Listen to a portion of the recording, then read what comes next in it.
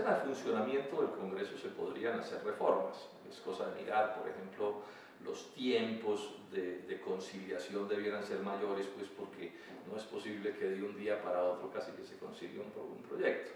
Pero yo diría que el problema principal del funcionamiento del Congreso no es el reglamento del Congreso. El problema del Congreso es la calidad de los ingredientes que entran al Congreso.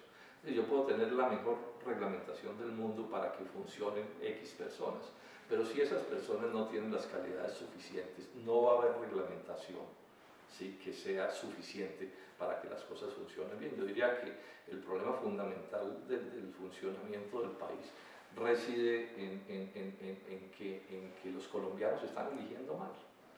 Entonces la gente no puede pretender que votar mal el domingo y el lunes pedir que los gobiernen, que los gobiernen bien. Yo diría que ese es el problema de fondo. Ahora, ese, ese elegir mal, a mi juicio, tiene dos connotaciones. Una, que yo pienso que eh, están ganando las votaciones quienes tienen concepciones de fondo sobre los asuntos de la vida del país que son erradas. Para poner un ejemplo, en términos de economía, toda esta lógica del consenso de Washington, del, del, neoliberalismo, etc. Pero además que el sistema electoral es un sistema corrupto hasta el tuétano. Si hay una cosa que apesta en Colombia, es el sistema electoral. Decía el, procurador Maya una vez que las elecciones se las robaban antes de votar, a la hora de votar y después de votar.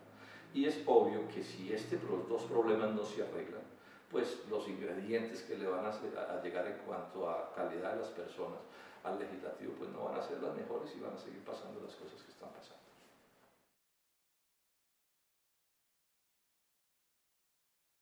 Yo diría que lo principal es el cambio de la gente, de los colombianos, del elector.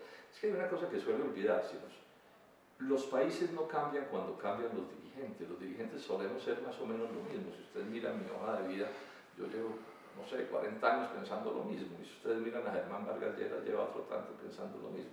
¿sí? El problema es que si los colombianos entonces siguen votando así, pues seguirán ganando los que siempre han ganado y el país seguirá estando como está. Entonces aquí lo que necesitamos es que los colombianos se decidan a cambiar ellos mismos para cambiar el país, o sea, para cambiar a los elegidos. ¿sí? o si no, esto no va a cambiar nunca.